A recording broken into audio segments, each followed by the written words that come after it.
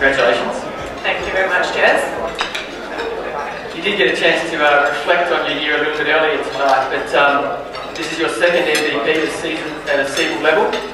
You had an outstanding coach last time, you've got an outstanding coach this time. Um, what's been different about this year? Um, for those of you that don't know, Jez is alluding to the fact that last time I won, he was my coach. Um, yes, Cheryl is an amazing coach, so I did have two brilliant coaches, me, um, two coaches coaching me. This season, to be honest, I feel like I've been in and out a little bit. So the girls did a great job while I was away, and obviously Gabe was out for a, a you know good two months, solid months there. So that was hard. So while we've been away, uh, our other players have done so well in filling the gaps in our absence. So I think a lot of this goes to them as well, and obviously our coaching staff. Uh, many people in the room would know that uh, Gabe and Kelly and Kelly's sister Andrea live together in Bendigo, so they've both been commuting throughout the course of this year. Uh, how have you found that?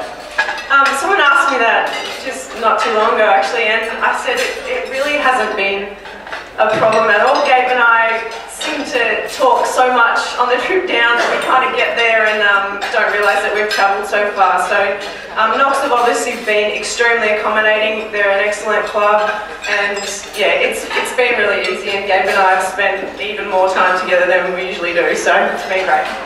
And just finally, Kel, it's the last, um, uh, last game tomorrow. I'm sure that everyone's um, focused on that. But beyond that, um, what are the next few things that you've got in mind basketball-wise?